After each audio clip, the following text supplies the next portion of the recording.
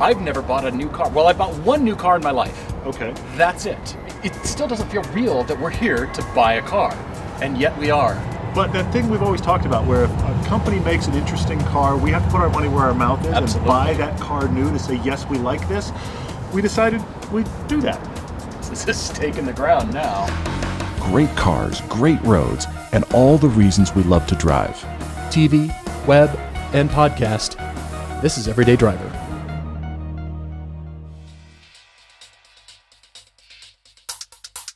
Color is good. Yeah, it didn't have this color at the launch. I know. It's the only thing I didn't have. They had every other color they're They had the dark blue. They had every other color they're offering except for this, yeah. We're here at Mark Miller Toyota because we just go shopping on Saturday mornings, and we came across this new premium GR86. And we've talked about it for so much. I told Todd, we should just think about buying this. I mean, what do you think? I love how he acts like it was just sitting here unclaimed and we get to walk up. It's and claim it. unclaimed. It's totally Right, uh-huh, nobody sure. would buy this Yeah. because uh, yeah, it's just sitting here. But anyway, yeah. We're just glad it's here. But first, there's paperwork. There's no outside the steps. We can observe the steps, but there's no outside the steps. You don't skip steps. There's all steps. That is the lowest mile car I will have ever climbed into. Oh yeah, for sure. The car has two miles. Mile three, sideways. Can't take you anywhere. It's just Freshly squeezed fob. That sounds terrible, by the way.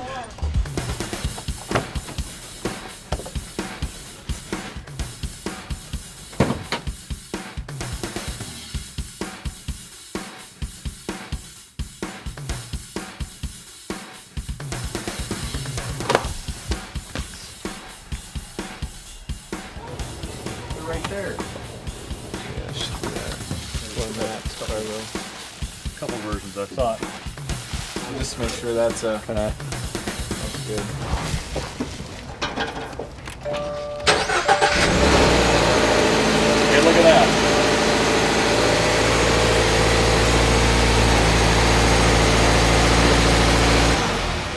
So here's a question. You know how on Porsches you've got to point the Porsche crest to the valve stem cap? What happens on Toyotas? I'll give Oh, you. I present to You're presenting me a two Toyota center cap. caps. Wow. We're making it a thing. Okay. Here we go. Bottom of the ellipse towards the valve stem. I guarantee you Paul's doing this better than me. Push it in. Straight towards the valve stem cap. That's the new way to do it. That's the new official way to do it, right there. Hmm. There you go. We're on a Japanese game show. Yeah, Whoever but can then get they're there, half the interior unwraps first gets the prize. I can hear the crowd cheering us on. Yeah, how did you do that? So, okay, here's this is key. You know, if you've seen this show for five minutes, that the person's going to do this better is not me. Oh. Paul's going to do it with like pristine perfectness, and I'm going to still be finding bits of plastic ten years from now. So we probably should just be following Paul. How'd you like to be the person that puts this on? Yeah, well, That's fun, huh? I feel like I've taken somebody's job and I'm not doing it well. If you do it wrong, you get a pie to the face. It's all a game show. If you've never unwrapped your own brand new car, there's something to it. There's a cathartic experience. This is when the bonding begins, is when you start in on things. The pedals are covered in blue. I didn't know the pedals came covered. That's craziness. This is incredibly satisfying. I can't even tell you how much I'm enjoying this. Look at that. I didn't even do it and that was satisfying.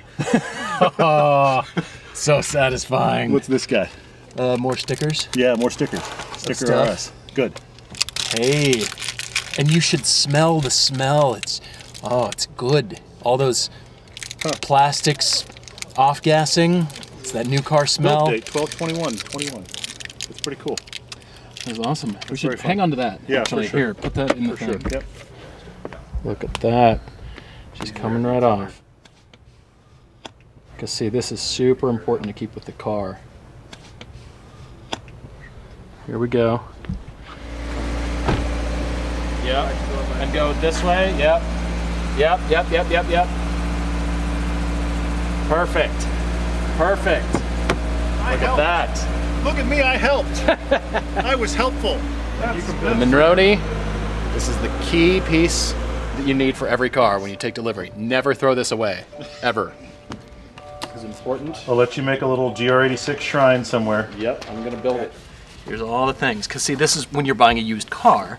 This is all the juicy stuff that you want with it. But no, this is the stuff, honestly, that when I buy that used car from that person, I go, this idiot kept all that stuff. No, I'm That's the ex- idiot that keeps that- it. Clearly, we're seeing it firsthand now. Oh, oh, oh. Oh, the kick plates. Uh-huh. We got to get the, the glue off the kick plates. After you get that off the kick plates, Yeah, yeah, whole yeah. other thing. We don't need that. Do- Would you like the barcode, Paul, with the VIN number on it? Yes. I figured you that. would. Yep. But I will say, when else in your life are you going to have a VIN number that is actually available to you in barcodes? You have to type 25 numbers or whatever. Got it. is. Okay. See, that also goes here on the back. I of the am going to trash that. Please do. Just so you know. Yes, that's fine. See, recording everything. Yeah. All right. See, it's on the Monroney, Got it. Oh Right? my God. and then you keep it safe right here. How long do you guys have today? We're going to be here a while, apparently. Yeah. This is as scratch-free as it will ever be. You're right. By the time we get home, that will already be ruined. Here we go. Well, you've been successful. Of course you have. This is what I imagine when we're unboxing a car. This is what I imagine. That's the sound you heard in your head? No. Yeah. Hey, I'm to end up with a larger piece than you. I just want that noted. Got it? Hey! All right. Look at that. See, this is so satisfying. It's like It ripping really a band-aid off. It's much more satisfying than I ah. thought it was going to be.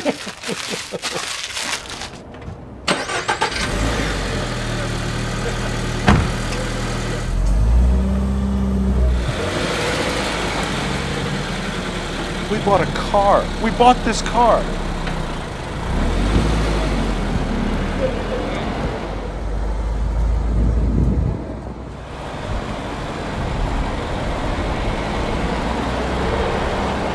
We did this.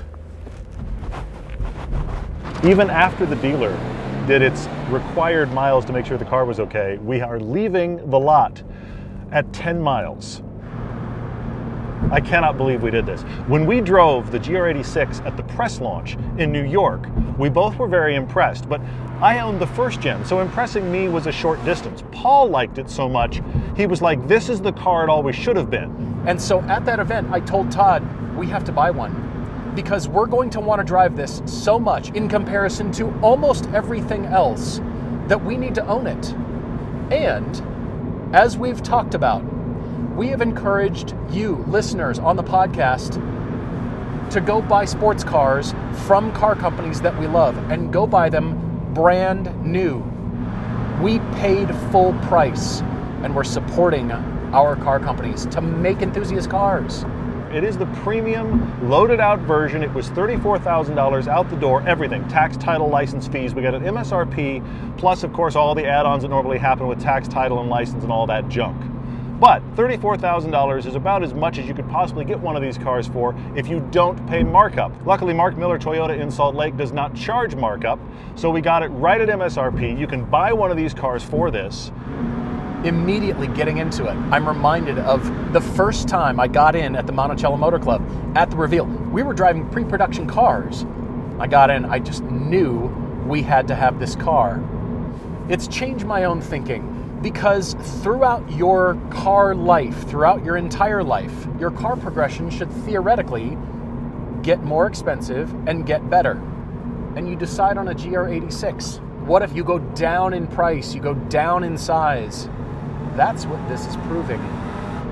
We had a debate on our podcast and we talked about how we would spec one of these cars. And one of the things we didn't spec at the time was the Toyota installed paint protection film that comes on the nose. When we got around to actually ordering the car, we did put that paint protection film on it. We checked that box. And I wish we hadn't. The paint protection film that Toyota puts on is just a strip.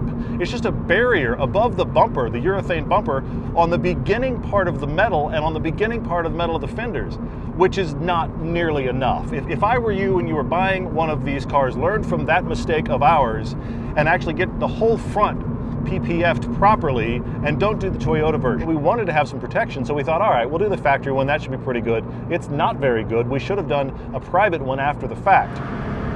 This is only the second new car I've ever bought or been a part of buying, and there's already an emotional connection. It's Todd's, it's mine.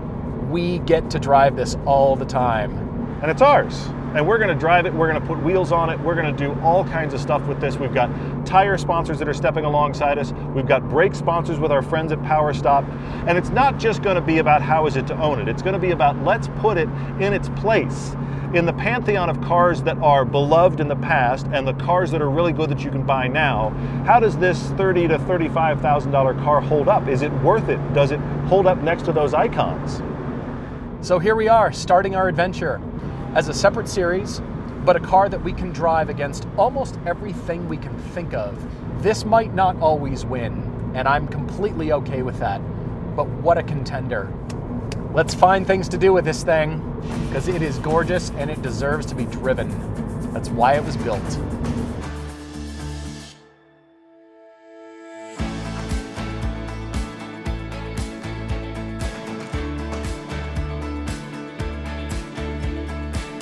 Big test for me is how does a car feel when I just use it like my normal car?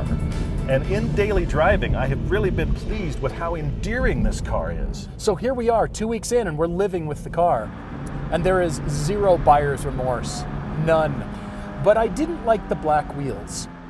Then we looked at the color of this car and we remembered that really cool BMW M2 CS that we had. That M2 CS color was a special blue and it looks pretty similar to this Neptune blue that's available now on this GR86. Once we got the Neptune blue and we saw it in person, we had a conversation about I actually think gold wheels would look great on that. It actually does a lot to the styling. If you look around this car, it does interesting things. It makes it look more expensive, for one, but it brings out a lot of the characteristics that I like better on the second generation. Paul and I had a big discussion about which version of this car we should get. I kind of wanted to go for the base model because I thought we were going to change the wheels and tires instantly anyway, so what's it matter? They really are the same underneath. But Paul's a big fan of the ducktail. We like the extra tech that was involved in the upper level version. If you get an automatic, it has even more tech. This has blind spot monitoring and rear cross traffic alert, which are actually useful things when you have a small car. And I admit, I do like the ducktail. I don't think it's necessary, but I do like it. The big thing we wanted to go for was this Neptune blue, and we're so glad to have gotten it in this color. And then, of course, that color combination does reference Subaru history, and this is underneath a Subaru. But the reason we did it was actually not the Subaru livery reference. We did it because we saw how great that specific color combo was and thought, this 86 can look pretty similar to that. And look where we ended up. See gold or bronze wheels on everything. And thanks to Nokian, they have donated Hakkapeliittas that we put on our gold rims. I'm in love with these Oz wheels. They are a half inch wider than the wheels that came stock. And the wheel and tire combination with big Nokian Hakkapeliitta full winter tires is lighter than the stock wheel and tire combination. It's interesting having these tires on this car because these are heavier duty winter tires than we even need here in Park City. We're having a fairly mild winter. You can see the roads are almost completely clear. And I've realized that the tires are pretty spongy at anything above about 40 degrees. Now, that's always been the case with winter tires, but more so than other winter tires I've had, you can feel the tire block moving. They're definitely spongy and soft. And this car starts to feel like it does on the stock Primacies. Now, the minute you get any snow, nobody has better traction than these tires. They are brilliant, and they aren't even studded. And because we're driving this all the time and swapping back and forth, I'm reminded every time I get in it how refreshing it feels. The last one just felt cheap to me. And I know that's part of the appeal, but this one now feels refined enough that it's worth your dollars. Another thing addressed between the first and the second generation is the shifter feel. And I have to say, when I drive it subconsciously, all that kind of daily stuff we're talking about, it is easier. It does feel better. I remember when I had my first generation, I didn't like the shift feel enough that I had to put a weighted top on the shifter that actually helped quite a bit. This one in the stock configuration is easier to shift. It's just simpler to shift without thinking. It's so easy to heel and toe in this car.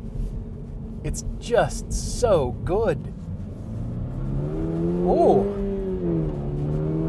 All right, that's a lot of noise. That's 7,000, okay? It's a lot of noise. Oh, that's 80. I should slow down. and I've been very concerned on the freeway about the level of noise this car produces. Why on earth, when you get the manual, there isn't a way to turn that off as a user. Is beyond me. Now, I know there's already procedures. You, you crack a panel off of that side of the car and you dig in there and there's like a telephone looking plug and you unplug that. And I've seen it and I've considered it. But the more important thing is I dug into the manual. That's novel isn't it? And I realized that Toyota has a long list of things you can customize on this car, and one of them you can do is to turn that system off. Unfortunately, to do that is a take to the dealer request. So now I'm just kind of intrigued. Does the dealer even know how to do it? This car was one of the very first ones of these our dealer had even seen. Do they have a procedure? Do they know how to plug into the brain and to turn that system off? Because it needs to be turned off. It shouldn't even exist in this car. But noise sells, and making a speaker that replicates the engine noise, and that's part of the driving experience, it will forever be. So leave your speaker plugged in. When you get one of these, just enjoy it for a while and really think, do I do I like this? Could I live with it? Otherwise, I would prefer to not have the speaker and have the actual exhaust note. Maybe some headers, maybe a, an exhaust system on this, maybe later on. That's a terrible noise. That's a terrible noise. Oh, why is that on a driver's car? That's a that's a terrible noise. That must be solved. Can the dealer solve it? Do they know how? Very curious to see. Let's address a few things I've heard online. First off is headroom. People are talking about this car is more cramped than the last generation, but I, I feel like I've got just as much room as I did in the last gen. I also haven't been in the last gen back to back with this. We have that coming. When we do, I'll have a better discussion for you about the comparative headroom of these two cars. But I have enough headroom, I have got enough legroom, shoulder room. This is a very comfortable car for big guys. The miles per gallon is another thing that a lot of people are talking about on this car as a reason the second gen isn't better, and I'm very confused by that commentary. I knew a lot of people with the first generation that were getting 28 to 30 miles to the gallon. I never did, but quite a few people at lower altitude were. I've driven this car in all the same roads in the same way that I had my FRS. My miles per gallon on that was 23, 24 if I was lucky. We have this car, and we have averaged 23 miles to the gallon. So that means this car is getting almost the exact same MPG in my actual usage as the first gen did. And a few things I really don't like. On the don't like column is the turn stalks. Why are the turn signal stalks this difficult to use? Now, okay, it's not rocket science. I understand how to use them. But Toyota has put these turn stalks on that they they're difficult to find the precise place to press them so that they only click three times versus press them too much and now the blinker's just on. It's difficult to get used to because you want to hit it too much and it doesn't have the proper detent to fight you and so you end up accidentally turning it all the way on and then to turn it off you hit it the other direction. So the good news here is that you can learn them and it becomes a subconscious thing like any other car. I wish they were different. They are kind of annoying. Luckily, I'm settling in. The great thing about the GR86 though is that it's not a second car. It's not a second fun car. This is the car you can do everything with. Right now, this car has just over 400 miles on it, and it's brilliant. The driving experience just feels interesting and fresh every time I swap with Todd. You thought we talked about 86s before? Get ready, because this now is such an aspirational car and an attainable car for so many people because of the price. We checked almost every box just to see what's worth it, what's not. And again, the paint protection film was a bad choice. We should not have gotten that. Now that I've seen how Toyota does that, it's a ripoff. It, it should be ripped off because it's a ripoff. If you have questions, we'd love to hear your questions. If you have things you think the car is like, but you've never driven one or owned one, why don't you ask? We'd love to hear. Because that's the thing, when you're buying a new car, you think, did I do it right? Am I investing my dollars wisely? There is zero buyer's remorse here. I just knew it from the moment we sat in this, from the moment we drove them. We had to have one. We had to live with this car. Got one of these. Look how good this looks. It looks so awesome. Can't take my eyes off it whenever I see it.